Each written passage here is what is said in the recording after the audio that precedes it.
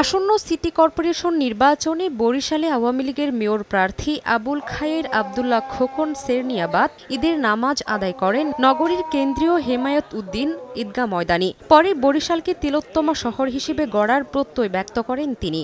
একটা সুন্দর নগরী এবং উপহার দেব এবং আমার অঙ্গীকার আছে যে আমি প্রত্যেকটা মানুষের জন্য সেবা দান করব।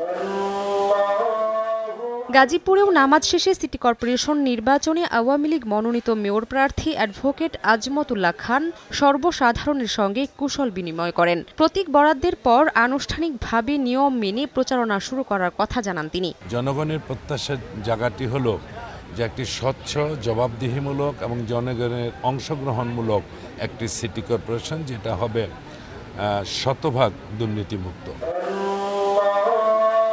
রাজশাহী শাহ মখদুম কেন্দ্রীয় ঈদগাহ ময়দানে ঈদের প্রধান জামাত অনুষ্ঠিত হয়। এতে অংশ নেন city mayor H M Khairuzzaman Liton. কেনাকাটায় একশো পার্সেন্ট পর্যন্ত ক্যাশব্যাক। জিতে নিন বিএমডব্লিউ সহ হাজার হাজার পুরস্কার।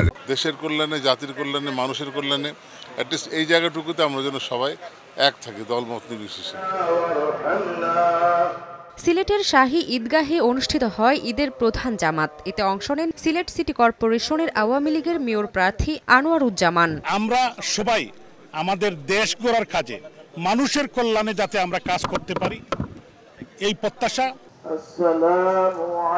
খুলনা সার্কিট হাউস মাঠে নামাজ আদায়ের পর নগরবাসীর সঙ্গে শুভেচ্ছা বিনিময় করেন সিটি মেয়র তালুকদার আব্দুল খালিক। নির্বাচিত হলে নগরীর অসমাপ্ত কাজ শেষ করার প্রত্যয় ব্যক্ত করেন তিনি। দেশ এবং জাতি যদি সুন্দরভাবে মাননীয় প্রধানমন্ত্রীর নেতৃত্বে আমরা আমাদের অবশ্য যে লক্ষ্য উন্নয়নের সেই লক্ষ্য বাস্তবায়ন করতে পারি আল্লাহর কাছে এই দোয়াই আমরা করি আগামী পঁচিশ মে গাজীপুর বারোই জুন বরিশাল ও খুলনা একুশ জুন সিলেট ও রাজশাহী সিটি কর্পোরেশনের ভোট গ্রহণের কথা রয়েছে।